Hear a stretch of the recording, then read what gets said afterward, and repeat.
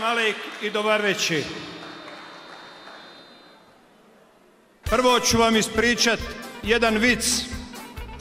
Pita sin babu, kaže, babo, jel grijeh da ne glasam za SDA? Kaže, sine, nije grijeh, ali velika je sramota.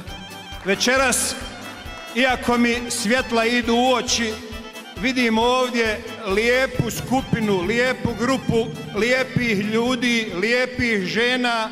Možda ste mi lijepi zato što je Liđa univerzitetski grad, pa ona ljepota nauke i ljepota znanja prešla na vas. Pa mi svi izgledate izuzetno pametni, izuzetno lijepi, izuzetno moji. Neki dan sam načelniku Srpske Iliđe rekao, de bogati da ti asfaltiramo Nevojkoviće, vas da mi se auto trese kad pređem, neću da se sramotim kad nam ljudi dođu. Ovo nisu obećanja, ovo je farz.